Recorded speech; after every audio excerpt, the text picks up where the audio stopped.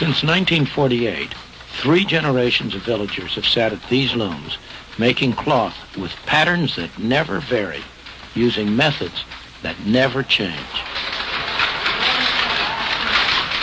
There's nothing wrong with this activity, provided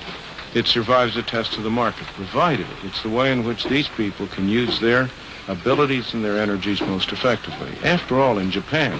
where the government has not specially encouraged the handloom industry, there remains a very small but very productive handloom segment.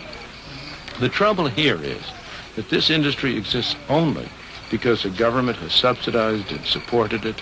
because it has, uh, in effect, imposed taxes, direct and indirect, on the rest of the people of India, people who are no better off than these people are,